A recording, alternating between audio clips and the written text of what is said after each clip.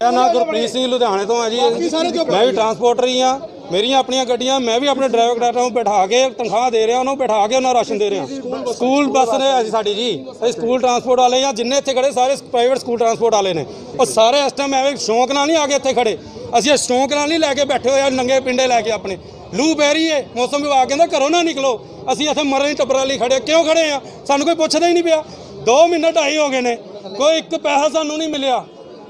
ਜਿਹੜਾ ਸਾਡੇ ਕੋਲ ਸੀ ਮਾੜੀ ਮੋਟੀ ਸਾਡੀ ਰਾਸ ਪੂੰਜੀ, ਜਿਹੜੀ ਸੇਵਿੰਗ ਸੀ ਅਸੀਂ ਅਸੀਂ ਵੱਧ ਖਾ ਚੁੱਕੇ ਬੈਠ ਕੇ ਕਿੱਥੋਂ ਦੇਈਏ ਅਸੀਂ? ਮੈਸੇਜ ਸਾਨੂੰ ਵੀ ਸਕੂਲਾਂ ਤੋਂ ਆ ਗਏ ਨੇ ਆਪਣੀਆਂ ਫੀਸਾਂ ਦਿਓ। ਬੱਚਿਆਂ ਦੀ ਫੀਸਾਂ ਪੜਾਓ ਸਾਨੂੰ ਵੀ ਮੈਸੇਜ ਰੋਜ਼ ਮੈਸੇਜ ਆ ਰਹੇ ਨੇ ਫੋਨ ਆਉਣ ਲੱਗ ਗਏ ਨੇ। ਅਸੀਂ ਉਹ ਕਿੱਥੇ ਜਾਈਏ? ਨਾ ਸਾਨੂੰ ਕੋਈ ਰਹਿਤ, ਨਾ ਅਸੀਂ ਸਰਕਾਰ ਤੋਂ ਮੰਗਦੇ ਕੀ ਪਏ ਆ? ਅਸੀਂ ਤਾਂ ਇਹੀ ਕਹਿੰਦੇ ਆ ਕਿ ਸਾਨੂੰ ਤੁਸੀਂ ਟੈਕਸ ਮਾਫ ਕਰ ਦਿਓ। ਸਾਡੀ ਪਾਸਿੰਗ ਸਾਡੀ ਸਾਲ ਦੀ ਪੂਰੀ ਮਾਫ ਕਰੋ ਇੰਸ਼ੋਰੈਂਸ ਮਾਫ ਕਰੋ। ਸਾਨੂੰ ਪੱਤਾ ਜਿਹੜਾ ਸਾਡਾ ਬੰਦਾ ਸਾਨੂੰ ਦਿਓ। ਅਸੀਂ ਹੱਕ ਮੰਗਦੇ ਆ ਭੀਖ ਨਹੀਂ ਮੰਗਦੇ। ਸਾਡੇ ਕੋਲ ਕਰੋੜਾਂ ਰੁਪਈਆ ਟੈਕਸਾਂ ਦੇ ਨਾਂ ਤੇ ਪਰਮਿਟਾਂ ਦੇ ਨਾਂ ਤੇ ਚਲਾਨਾਂ ਦੇ ਨਾਂ ਤੇ ਪਿੱਛੇ ਚਲਾਨ ਕੱਟੇ ਨੇ। ਕਰੋੜਾਂ ਰੁਪਈਆ ਪੰਜਾਬ 'ਚ ਇਕੱਠਾ ਹੋਇਆ। ਔਰ ਰਵੀ ਨੂੰ ਸਾਨੂੰ ਉਹੀ ਦੇ ਦਿਓ ਵਾਪਸ। ਸਾਡਾ ਪੈਸਾ ਸਾਨੂੰ ਦਿਓ। ਕੀ ਹੈ ਇੱਥੇ ਬੰਦੇ ਇਹੋ ਜਿਹੇ ਜਿਨ੍ਹਾਂ ਦੇ ਆਰਸੀ ਲਾਇਸੈਂਸ ਕੋਲ ਨੇ। ਪੁਲਿਸ ਵਾਲੇ ਜਾਂ ਫਿਰ ਵੀ ਚਲਾਨ ਕੱਟੇ ਨੇ। ਕਹਿੰਦੀ ਤੁਹਾਡੇ ਕੋਈ ਗੱਲ ਹੀ ਨਹੀਂ ਸੁਣੀ। ਸਾਨੂੰ ਪ੍ਰੋ ਆਰਡਰ ਹੋਇਆ। ਸਰਕਾਰ ਨਹੀਂ ਸੁਣਦੀ ਤਾਂ ਅਗਲਾ ਕਦਮ ਕੀ ਹੋਊਗਾ? ਸਾਡਾ ਅਗਲਾ ਕਦਮ ਇਹ ਜੀ ਅੱਜ ਜੇ ਸਾਡੀ ਆਵਾਜ਼ ਨਹੀਂ ਸੁਣੀ ਜਾਂਦੀ ਥੋੜੇ ਦਿਨਾਂ 'ਚ ਇੱਥੇ ਢੇਰ ਲੱਗਾ ਹੋਊਗਾ ਗੱਡੀਆਂ ਦਾ। ਚਾਬੀਆਂ ਡੀਸੀ ਆਫਿਸ ਦੇ ਅੱਗੇ ਹੋਣਗੀਆਂ। ਅਸੀਂ ਇੱਥੇ ਜਾਵੇ ਸਰਕਾਰ ਚਾਵੇ ਚਲਾਵੇ ਨਹੀਂ ਚਲਾਵੇ ਕਿਸ਼ਤਾਂ ਦੇਵੇ ਨਾ ਦੇਵੇ ਡਰਾਈਵਰ ਕਨੈਕਟਰਾਂ ਨੂੰ ਰੱਖੇ ਨਾ ਰੱਖੇ। ਬੱਚੇ ਢੋਣੇ ਸਰਕਾਰ ਢੋਵੇ। ਅਸੀਂ ਭਵਿੱਖ ਢੋਨੇ ਆ ਸਾਨੂੰ ਕਹਿੰਦੇ ਦੇਸ਼ ਦਾ ਭਵਿੱਖ ਇਹ ਇਹ ਮੰਤਰੀ ਬਣਨੇ ਨੇ ਲੀਡਰ ਬਣਨੇ ਨੇ। ਇਹ ਭਵਿੱਖ ਕਰ ਸਾਡੇ ਆਪਣੇ ਬੱਚੇ ਦਾ ਭਵਿੱਖ ਖਤਮ ਹੋ ਰਿਹਾ। ਚਲੋ ਰੈਲੀਆਂ ਦੇ ਸਾਡਿਆਂ ਮੇਰਾ ਨਾਮ ਸਰਦਾਰ ਸਰਸੋਵਾ ਸਿੰਘ ਭਾਟੀਆ। ਮੈਂ ਗੱਡੀ ਚਲਾਉਣਾ ਹਾਂ ਇੱਕ ਗੱਡੀ ਹੈਗੀ ਮੈਂ ਆਪ ਚਲਾਉਣਾ ਹਾਂ। ਸਕੂਲ ਬੱਸ ਹੈ ਜੀ।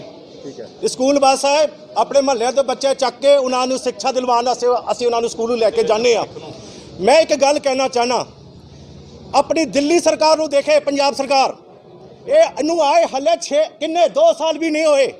ਦਿੱਲੀ ਸਰਕਾਰ ਆਪਣੇ ਪ੍ਰਵਾਸੀ ਮਜ਼ਦੂਰਾਂ ਨੂੰ ਵੀ, ਆਪਣੇ ਉੱਥੇ ਜਿਹੜੇ ਟੈਕਸੀ ਚਲਾਉਂਦੇ ਪੈਣ ਉੱਥੇ ਜਿਹੜੇ ਗੱਡੀਆਂ ਚਲਾ ਰਹੇ ਨੇ, ਉਹਨਾਂ ਨੂੰ 5-5000 ਰੁਪਏ ਕਰਕੇ ਦੋ ਵਾਰੀ ਉਹਨਾਂ ਦੇ ਖਾਤੇ 'ਚ ਪਾ ਚੁੱਕੇ ਆ। ਉਹ ਸਰਕਾਰ ਕੀ, ਇਹਨਾਂ ਕੋਲ ਕਮਜ਼ੋਰ ਹੈ? ਇਹਨਾਂ ਕੋਲ ਬਹੁਤ ਤਗੜੀ ਹੈ। ਇਹ ਤੇ ਪੰਜਾਬ ਸਰਕਾਰ ਹੈ, ਉਹ ਵੀ ਕਾਂਗਰਸ ਦੀ। ਜਿਹੜੀ ਕਿ ਕਾਂਗਰਸ ਇੰਨੀ ਵੱਡੀ ਪਹੁੰਚ ਰੱਖਦੀ ਹੈ ਉਹਦੀ ਇਹ ਸਰਕਾਰ ਇੱਥੇ ਚੱਲ ਰਹੀ ਹੈ ਤੇ ਕੀ ਉਹ ਆਪਣੇ ਗਰੀਬ ਜਿਹੜੇ ਟਰਾਂਸਪੋਰਟਰ ਸੀ ਅੱਗੇ, ਉਹਨਾਂ ਨੂੰ ਕੀ 5-5000 ਰੁਪਏ ਮਹੀਨਾ ਵੀ ਨਹੀਂ ਦੇ ਸਕਦੀ? ਸ਼ਰਮ ਆਉਣੀ ਚਾਹੀਦੀ ਇਹਨਾਂ ਨੂੰ। ਮੈਂ ਤਾਂ ਕਹਿੰਦਾ, ਕੇਜਰੀਵਾਲ ਬੰਦਾ ਸਾਡੇ ਪੰਜਾਬ ਵਿੱਚ ਆਵੇ, ਕਿ ਸਾਡੇ ਗਰੀਬਾਂ ਦਾ ਸੁਣੇ। ਇਹ ਪੰਜਾਬ ਸਰਕਾਰ ਕੀ ਕਰ ਰਹੀ ਹੈ ਸਾਡੇ ਨਾਲ? ਇਹ ਤੁਹਾਡੇ ਨਾਲ ਧੱਕਾ ਕਰ ਰਹੀ ਹੈ, ਧੱਕਾ ਕਰ ਰਹੀ ਹੈ। ਹਾਂਜੀ, ਦੇਖੋ ਜੀ, ਪਹਿਲੇ ਤੇ ਅਸੀਂ ਪੁਰਾਣੀਆਂ ਗੱਡੀਆਂ ਚਲਾਉਂਦੇ ਸੀ। ਥੋੜੇ ਬਹੁਤੇ ਪੈਸੇ ਮਿਲਦੇ ਸੀ ਨਾ ਟੈਕਸ ਦਿੰਦੇ ਸੀ ਨਾ ਇੰਸ਼ੋਰੈਂਸ ਦਿੰਦੇ ਸੀ ਕੁਛ ਸਾਡੀ ਦਾਲ ਰੋਟੀ ਸੋਹਣੀ ਚੱਲਦੀ ਸੀ। ਸਰਕਾਰ ਨੇ ਕਹਿ ਦਿੱਤਾ ਸੁਪਰੀਮ ਕੋਰਟ ਦਾ ਆਰਡਰ ਹੈ ਨਵੀਆਂ ਗੱਡੀਆਂ ਲੈ ਲਓ। ਅਸੀਂ ਨਵੀਆਂ ਗੱਡੀਆਂ ਲੈ ਲਈਆਂ। ਨਵੀਆਂ ਗੱਡੀਆਂ ਕਿਸ ਤਰ੍ਹਾਂ ਲਈਆਂ? ਪੁਰਾਣੀ ਗੱਡੀਆਂ ਕਬਾੜ 'ਚ ਵੇਚੀਆਂ ਉਹਦੇ ਬਾਅਦ ਗਹਿਣਾ ਵੇਚਿਆ। ਜ਼ਮੀਨ ਥੋੜੀ ਬਹੁਤੀ ਕ- ਕ- ਕ- ਲਿੱਤੀ ਉਹਦੇ ਬਾਅਦ ਬੈਂਕ ਤੋਂ ਕਰਜ਼ਾ ਲਿਆ। ਉਹਦੀ 20000 22000 ਰੁਪਏ ਕਿਸ਼ਤ ਬਣ ਗਈ। ਬਾਊ ਜੀ ਕਹਿੰਦੇ 30 ਬੱਚੇ ਤੋਂ ਵੱਧ ਨਾ ਬਿਠਾਓ। 1200 ਰੁਪਏ ਤੋਂ ਵੱਧ ਕੋਈ ਦੇਣ ਨੂੰ ਤਿਆਰ ਨਹੀਂ ਹੈ। ਕਿੰਨੀ ਕੋ ਕਮਾਈ ਕਰ ਲਈ ਅਸੀਂ? ਬਸ ਅਸੀਂ ਕੋਈ ਦੂਜਾ ਕੰਮ ਨਹੀਂ ਕਰ ਸਕਦੇ।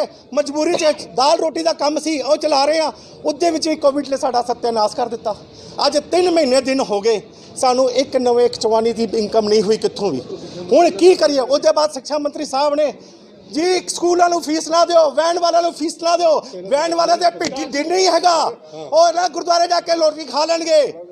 ਸਿੰਘਲਾ ਸਾਹਿਬ ਨੇ ਉੱਥੇ ਲੰਗਰ ਲਵਾ ਦਿੱਤਾ, ਉੱਥੇ ਰੋਟੀ ਖਾ ਦੇਣਗੇ ਇਹਨਾਂ ਨੂੰ ਪੁੱਛਣਾ ਦਿਓ। ਅੱਜ ਕੀ ਹੋਇਆ? ਅੱਜ ਅਸੀਂ ਮਰ ਰਿਹਾ ਨਾ ਸਾਡਾ ਕੋਈ ਟੈਕਸ ਮਾਫ ਹੋ ਰਿਹਾ, ਨਾ ਸਾਡੀ ਇੰਸ਼ੋਰੈਂਸ ਮਾਫ ਹੋ ਰਹੀ ਹੈ, ਨਾ ਸਾਨੂੰ ਕੋਈ ਵੀ ਵਿੱਤੀ ਸਹਾਇਤਾ। ਪ੍ਰਧਾਨ ਮੰਤਰੀ ਸਾਹਿਬ ਕਹਿੰਦੇ ਜੀ 200 ਕਰੋੜ ਰੁਪਈਆ ਤੁਹਾਨੂੰ ਅਸੀਂ ਉਹ ਦਿੱਤਾ। ਉਹ ਕਿੱਥੋਂ ਦਿੱਤਾ ਤੁਸੀਂ? ਬੈਂਕਾਂ ਨੂੰ ਦਿੱਤਾ ਕਿ ਤੁਸੀਂ ਕਰਜ਼ਾ ਦਿਓ? ਅਰੇ ਭਾਈ ਸਾਹਿਬ, ਪ੍ਰਧਾਨ ਮੰਤਰੀ ਸਾਹਿਬ, ਕੈਪਟਨ ਸਾਹਿਬ, ਅਸੀਂ ਤਾਂ ਖੁਦ ਕਰਜ਼ੇ ਡੁੱਬੇ ਹੋਇਆ ਹੁਣ ਅਸੀਂ ਕਰਜ਼ਾ ਕਿੱਥੋਂ ਲਵਾਂਗੇ? ਅਰੇ ਸਾਨੂੰ ਤੇ ਫਾਇਦਾ ਤਾਂ ਹੁੰਦਾ ਕਿ ਤੁਸੀਂ ਸਾਡੀ ਈਐਮਆਈ ਮਾਫ ਕਰਾ ਦਿੰਦੇ ਸਾਡੇ ਟੈਕਸ ਮਾਫ ਕਰਾ ਦਿੰਦੇ ਅਸੀਂ ਤੁਹਾਡਾ ਗੁਣਗਾਨ ਕਰਦੇ। ਹੁਣ ਇਹ ਦੱਸੋ। ਮੈਨੂੰ ਮੈਂ ਕਿਸੇ ਨੂੰ ਨਹੀਂ ਮਿਲਿਆ। ਚਾਹਨੇ ਅਸੀਂ ਇਹੀ ਆ ਦੂਜੇ ਸਟੇਟ ਦੇ ਟੈਕਸ ਸਾਨੂੰ ਇਹ ਚਾਹੁੰਦੇ ਆ ਕਿ ਸਾਡੇ ਸਕੂਲ ਦੇ ਟੈਕਸ ਮਾਫ ਕੀਤੇ ਜਾਣ। ਸਾਡੀ ਇੰਸ਼ੋਰੈਂਸ ਜਿਹੜੀ ਟੁੱਟ ਗਈ ਜਿਹੜੀ ਪਾਸਿੰਗ ਟੁੱਟ ਗਈ ਹੈ ਜਿਹੜੇ ਸਾਡੇ ਡਰਾਈਵਰਾਂ ਦੇ ਲਾਇਸੈਂਸ ਜਿਹੜੇ ਟੁੱਟ ਗਏ, ਉਹਨਾਂ ਦੇ ਸਾਰੇ ਮਾਫ ਕੀਤੇ ਜਾਣ।